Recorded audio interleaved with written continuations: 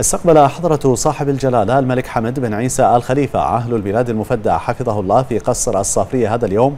أبناء وأحفاد سمو الشيخ عطية الله بن عبد الرحمن آل خليفة رحمه الله وذلك للسلام على جلالة الملك المفدى. وقد رحب صاحب الجلالة بالجميع وأكد على أهمية تعزيز التواصل والترابط بين أبناء المجتمع البحريني والحفاظ على ما يجمع أهل البحرين من قيم وموروثات أصيلة.